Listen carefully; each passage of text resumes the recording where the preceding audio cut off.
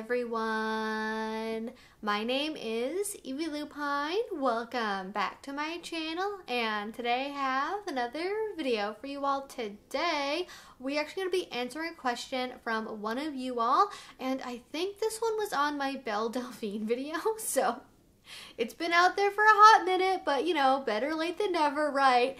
And you wanted to know about the difference between blanket consent and something called free use, which not a lot of people seem to know about. So, we're going to be talking about what those things are, how they're different, how they work in a BDSM relationship, and it should be a very fascinating, controversial, possibly conversation. Now, before we get into it, you do need to know this is a 101 style video. It is not a 101 subject. It's much more of like a 200 level 300 level situation. You're going to want to know the basics about negotiations, affirmative consent, the FRIES model, SSC RACK, that kind of thing in order to be able to follow along here. If you don't know what those things are, I'll have some videos linked down below to help you out with that and then come back here, revisit and rejoin the conversation. And this is probably going to be a challenging subject as well, not because the material is hard to understand. It's actually like pretty straightforward when you get into it,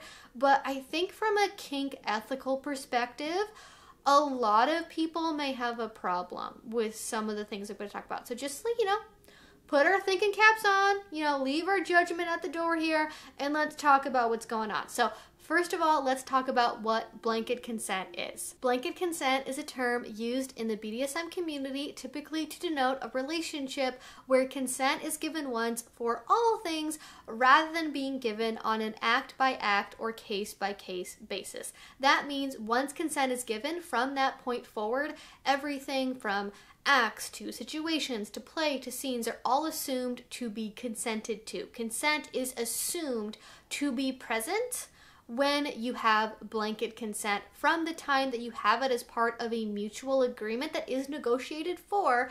After that, basically everything is fair play, is fair game. Now, within blanket consent, there are some variations. Limits and safe words don't tend to be a large feature in blanket consent if they are there at all.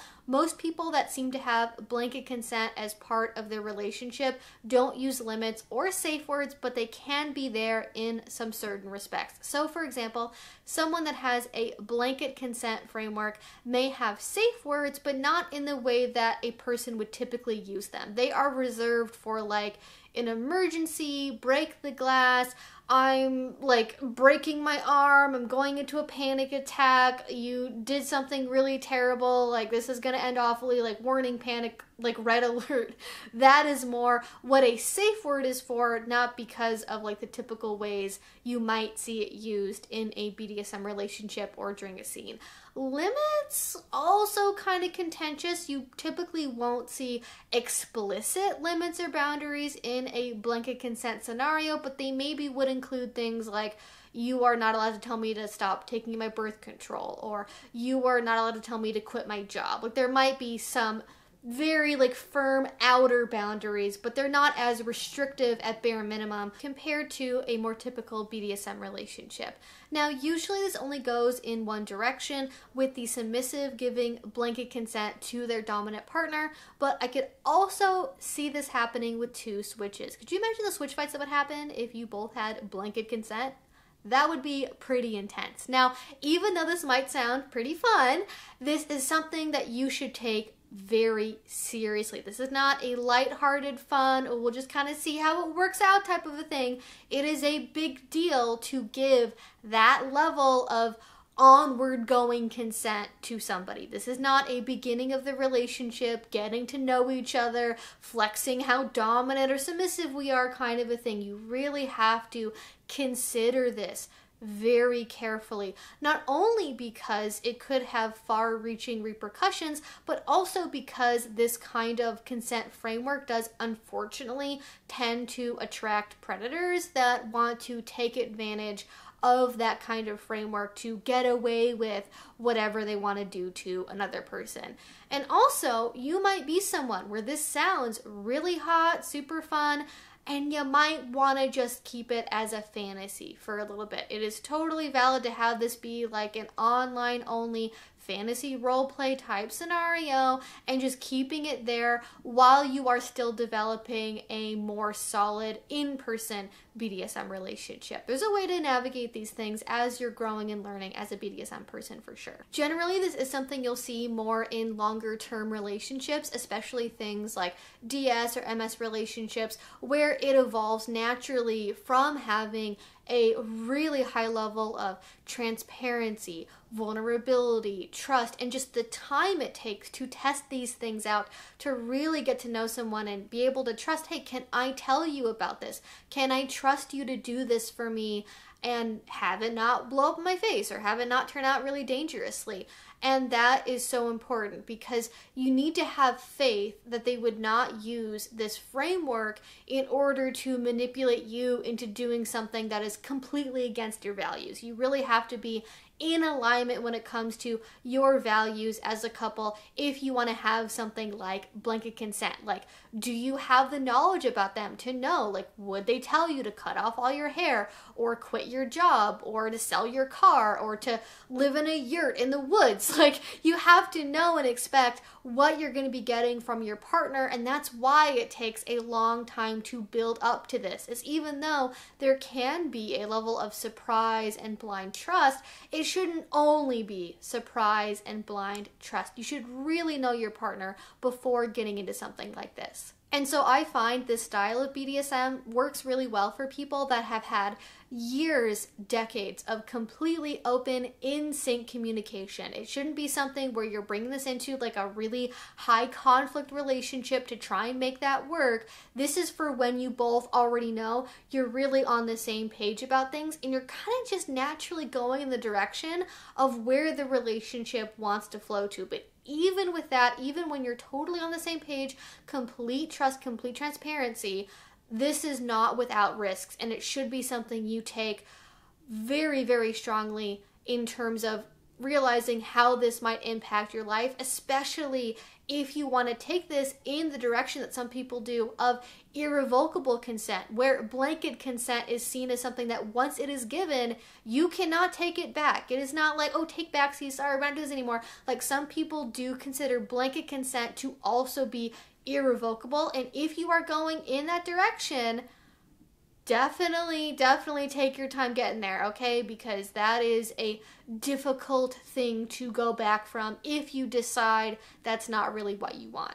Probably the closest term you'll see in relation to blanket consent is something called free use, which also even has two kind of separate uses and definitions for it. But in the BDSM community, what this refers to is a relationship dynamic where consent is assumed and not even so much assumed as consent is moved away from as a requirement for the relationship. It's more the mentality of I'm the D type, I'm your Dom. Because you're mine, you are just going to do whatever I say because that is what being in a total authority transfer or a power exchange relationship means. And this should be something that is wanted by both parties. It should be something that is negotiated for.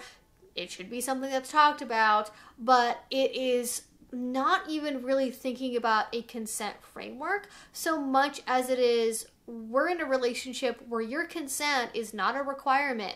You are just mine to do with as I please. And I will say one big key difference between blanket consent and free use is typically with free use, there's also sort of like the transitive property of free use that gets applied where it's not even just, okay, you consent to be used by me in whatever way I see fit. I can give you to other people, and you have to do what they want or what I tell them to do with you. So you could have a free use dynamic where your Dom could give you to somebody and you could be their practice dummy as they're a newbie Dom. You could be told to give a presentation for a whole room of people or a demo bottom, or you could be put in the middle of an orgy, even potentially, and just instructed to serve everyone there as your Dom or your master would want you to. And there are some blanket consent people that do that as well, where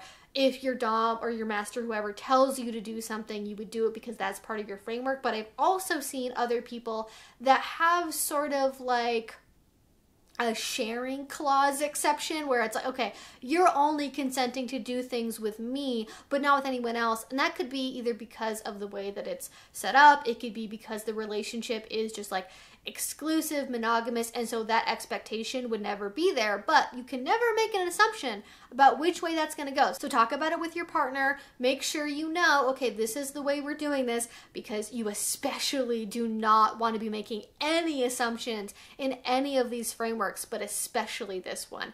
Now, the other way you will see free use used is like completely separate, non BDSM, not even necessarily very kinky fantasy or fetish. There's like a whole Reddit dedicated to it that's actually very popular.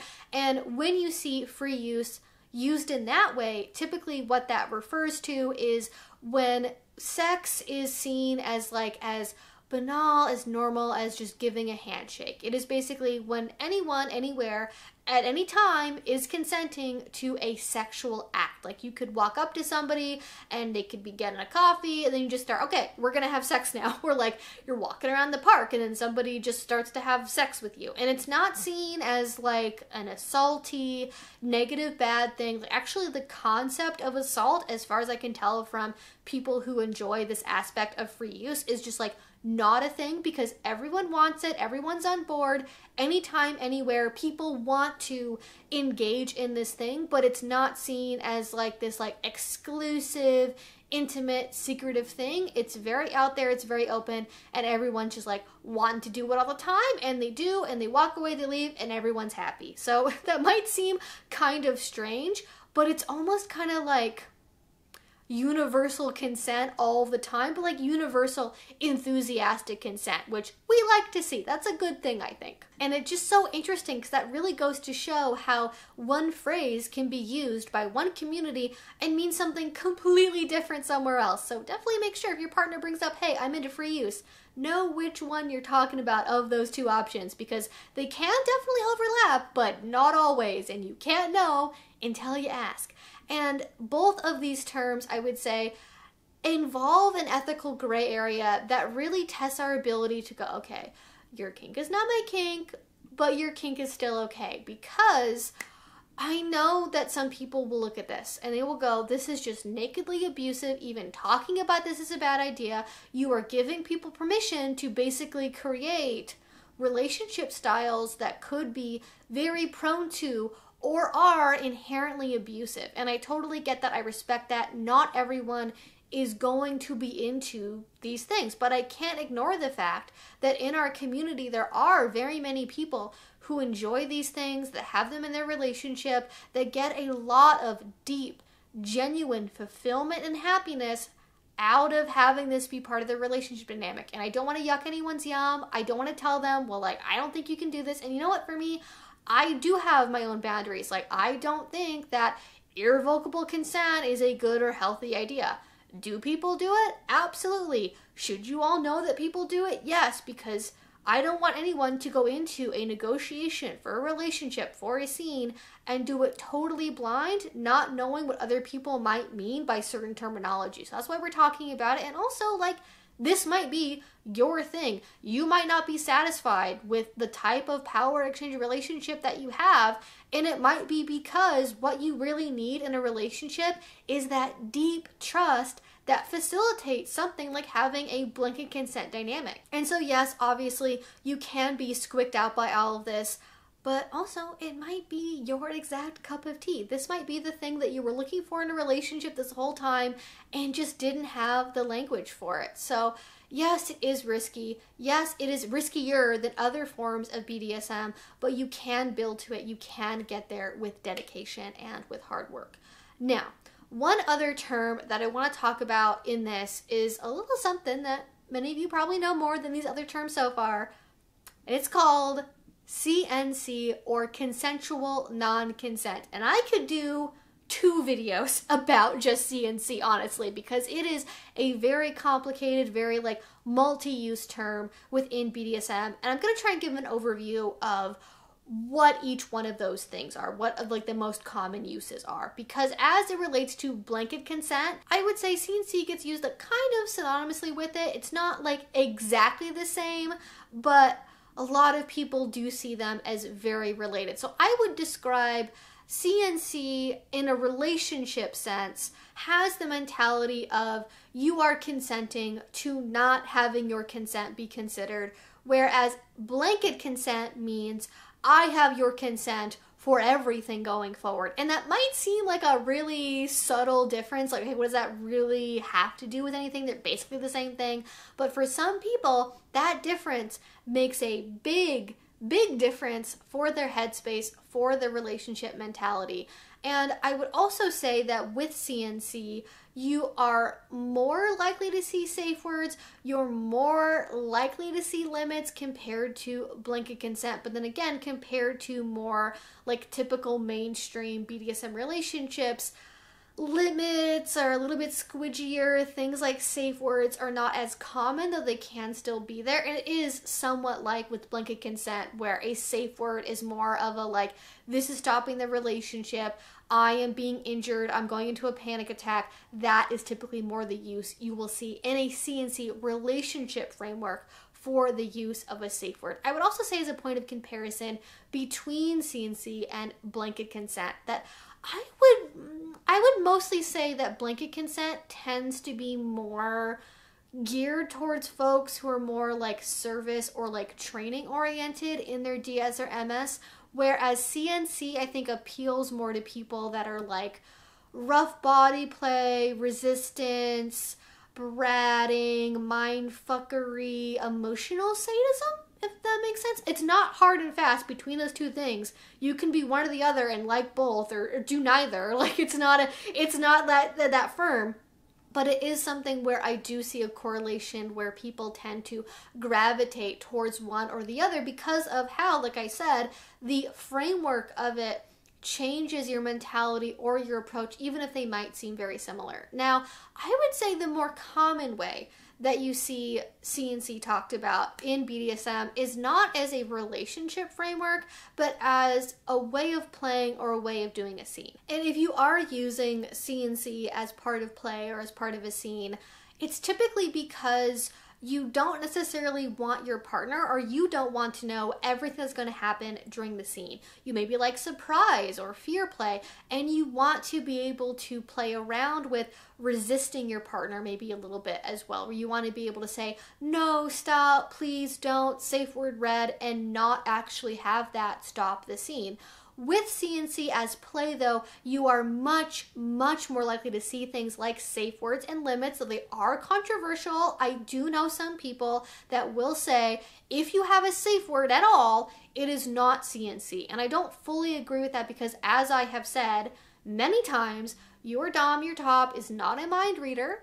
They are not going to be able to know everything going on with you, and they are not necessarily going to see everything going on with you internally. If you twist an ankle or you break a nose or you're getting a nosebleed or anything else like that, they might not notice that and you might need a safe word to indicate, hey, this thing is happening, just like really quickly, really briefly. So I think that safe words do make sense for some folks if they want that in their CNC play and also with limits. Limits can be something that's absolutely part of a CNC scene. You could have CNC mean a temporary no limits experience where once the scene is over, those limits are back in place, or you could have CNC in the sense of we are doing some boundary pushing, playing with soft limits, but hard limits still are not okay to push up against. And basically, what CNC means in this context is that you are consenting to not knowing everything that's going to happen in a scene. There could be some surprises, and during that specific period, you're not going to know everything that your Dom or your top is planning to do. You won't know those details ahead of time, and saying things like no or stop and resisting is not necessarily going to stop the scene. And on that note, really quickly, I do want to add that with safe words, some people will, within a CNC scene, have a real safe word. There's like a secondary one where you can say red, stop, that kind of a thing. But then they have like mercy or really red be the actual safe word so that way you can play around with those boundaries without really not having any at all. But I don't necessarily recommend that. I think it can be confusing for a Dom or a top to hear things like safe word and red, which are typically house safe words that would need to be respected in a public context, like being violated in private and then having like a secondary secret safe word that's just like really safe word, double safe word. Some people like playing with that. I would just be cautious with that because it can be confusing, especially when you play with more than one person. Now, on a final note, some people mean CNC not as like an umbrella term for like any of a number of different consensual non-consent scenarios, but they essentially mean like rape play, role play with like a nicer, more like sensitive label on it, where all the limits are there, all the safe words, all the negotiations, like you're gonna know everything that happens, all that stuff. It's just about referring to a type of role play more than anything else. And I don't really agree with that because that is a very narrow particular experience. And i get why people would like use that label to mean that because when most people kind of learn about consensual non-consent it's in the context of what i will call sexual resistance play where it's about saying no stop please don't and like kind of living out that fantasy that so many people have. But because CNC is so much more broad than that, not to minimize this kind of resistance play because it can be very mental, very emotional, it can be very taxing on both or all of the participants. So do not take it lightly no matter what version of CNC you want to engage in. It's just, it's something that's got to be very carefully considered, as I've already said multiple times so far in this video. But that is basically where I wanted to wrap things up. That's all I really have to say about the differences between blanket consent, CNC, free use, all of that stuff. And I would love to know what you all think about this in a comment down below. Have you heard of this stuff before? What do you think about it? Should I do a follow up talking about CNC and consensual non consent in more depth? I would love to know everything that you all are thinking about that. And yeah, it's just, it's a very interesting area of BDSM that not many people get to explore or really talk about and I'm happy to shed a light on this. And I don't want anyone to like walk away from this like thinking oh my gosh like if I'm in a DS relationship I have to have blanket consent if I'm a true slave or a true submissive. It is not about meeting anyone else's standards for being the most submissive or being the most body mist bottom with no limits. I don't want anyone to like take this as being like, ah, this is how I say, do whatever you want to me, mistress. I have no limits in like a fancier, more acceptable package. Don't, no, bad, stop, squirt bottle. Okay, stop, don't do it. You've been warned, stop. That is not what this is for. This can take a long time to build up to. And if it's not your thing, totally valid. If it is your thing, totally go for it. And because all these terms can mean different things to different people, I am not trying to say that my version of this is like the definite, absolute, this is exactly what all these terms mean sort of a thing. That is not what this is. This is my best guess on how I think most people in the community see these terms, but because everything is so individual. If you want to talk about this with a partner, really make sure you both know how you see these terms together and not necessarily what you assume people think it is based on what I've said. Because again, this is very, very variable. And of course, this is not going to be for everyone. Not everyone enjoys every single kink. Some people really like more of like a nurturing, soft, gentle approach to their BDSM. Other people like knowing that their partner is in total, complete control. And some people like mixing both of those two things together. So just remember, it's not about meeting anyone's standards for being submissive enough or dominant or anything like that. It is about finding the kinks that work for you and make you happy in your BDSM journey. And that is really, again, all I have to say. I would love to know your thoughts in a comment down below. If you have not already and you would like to, please go ahead and subscribe. I make videos twice a week about all sorts of kink and BDSM related topics.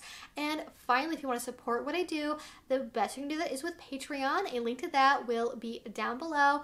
If you do already support me there, thank you so, so much. It means the absolute world to me. And until I see you all next time, I hope you have a great rest of your day and a great rest of your week. Bye bye.